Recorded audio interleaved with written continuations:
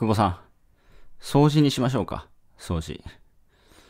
あの、スラムダンクを知ってる人だったらわかると思うんですけど、ゴリっていうね、キャプテンがいて、あの、天才です、桜木花道です、みたいな。で、ゴリに、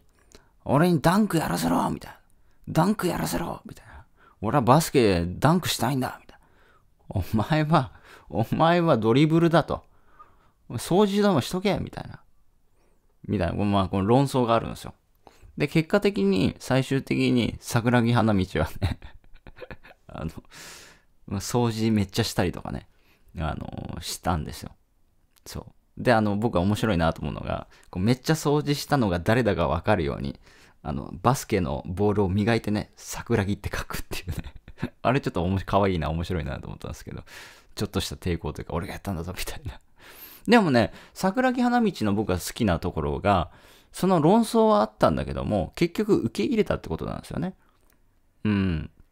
自分はやりたいのはダンクなんですよ。で、そこで争ってもいました。だけど、その指示を聞いてね、あの、しっかりと掃除、がっつり掃除してたっていうのはね、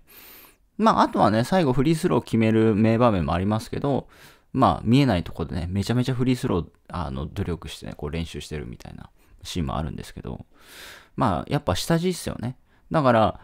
うーん、基本ができてないのに勝てるのかっていうと、まあ、FX もそう、全部、全部そうですよね。基本がないのに、うん、商品売れるのか、基本がないのにコンテンツビジネスできるのかとか、まあ、全部においてある程度一定の基本はありますから、それを度外視してね、いきなりダンク、や、ダンクがやらせろは通らないし、まあ、特にあのバスケットってチーム戦ですから、1人がめちゃめちゃスーパープレイヤーでも、じゃあその他がダメだったら最強チームに勝てるのかっていうと、多分無理なんですよ。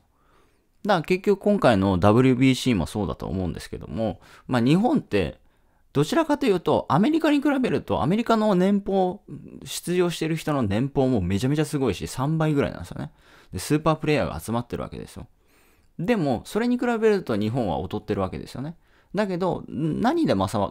ったのかっていうと、やっぱチームプレーで勝ったわけですよね。まあ、あの、個人競技は別としてですよ。まあ、そのスラムダンクで言うならば、バスケットってチーム戦なので、だから、あの、チーム全体がこう稼働しないとうまく試合で勝てないっていう、やっぱそういう、そういうゲームですから、うん、そう。だからまあ、基本は大事ですね。基本が はい。では、いってらっしゃい。